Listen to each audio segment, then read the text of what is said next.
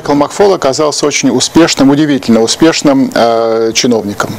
Он никогда до администрации Барака Обамы не служил э, в исполнительной власти в Соединенных Штатах. И э, для человека, вся жизнь которого прошла э, в академических институтах, э, в исследовательских организациях, Стэнфорд, Карнеги, для такого человека стать успешным бюрократом – это большое достижение. А Майкл сумел стать очень полезным человеком для администрации Барака Обамы и лично для Барака Обамы. Российское направление не было и не является приоритетом для Барака Обамы, но оно оказалось э, одним из наиболее успешных. И в этом большая заслуга Майкла Макфола. Он пришел в администрацию, имея репутацию человека в некоторой степени идеологизированного, то есть у него был, был четкий очень э, посыл необходимости делать упор на проблемы демократии и прав человека в отношениях с Россией. Этому была посвящена его статья в Foreign Affairs э, незадолго до э, выборов, или, вернее, так скажем, в ходе предвыборной кампании 2008 года опубликованная. Но когда он пришел в Белый дом, он показал себя Э, прагматиком и очень успешным прагматиком, причем таким прагматиком, который э, не запятнал свои, э, скажем так, идейные, э, не запятнал свои идеалы. Это тоже очень важно. Так что я думаю, назначение имеет две стороны. Во-первых, это своего рода благодарность со стороны э, президента одному из ключевых советников. Одно дело быть старшим директором по России в аппарате Совета Безопасности, Совета национальной безопасности в администрации президента в Вашингтоне. Другое дело быть послом Соединенных Штатов в одной из крупных стран мира. И э, титул посла люди носят до конца своей жизни. И это очень важно, этот статус, это очень приятно.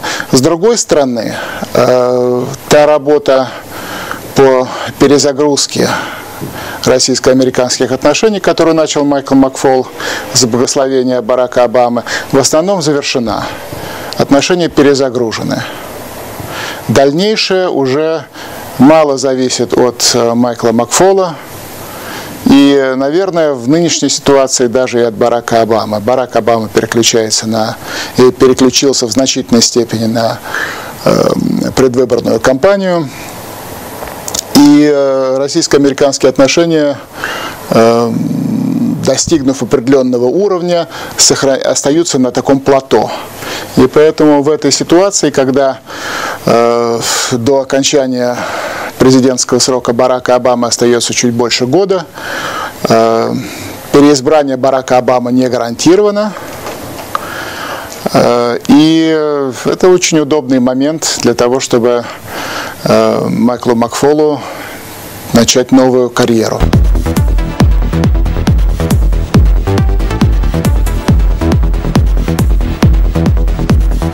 Ну, во-первых, посол при всей важности, конечно,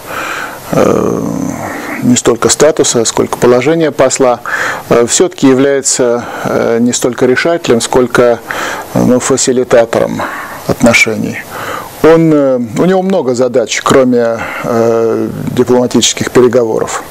Он представляет страну, он должен формировать, по идее, благоприятное общественное мнение в стране, он должен поддерживать связь со всеми значимыми персонами в стране, он должен представительствовать на целом ряде мероприятий. У него огромное количество дел, и задача посла сегодня э, в меньшей степени, чем в классические, во времена классической дипломатии, вести какие-то переговоры.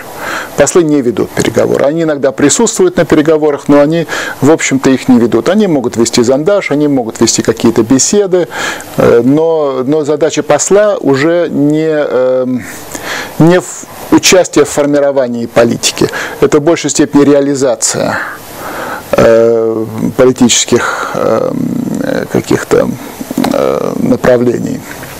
Вот, поэтому э, у э, Махфола будет много здесь э, вопросов, задач, которые он должен решать. Кроме того, это колоссальная бюрократическая нагрузка. Это несколько сот человек в вашем подчинении.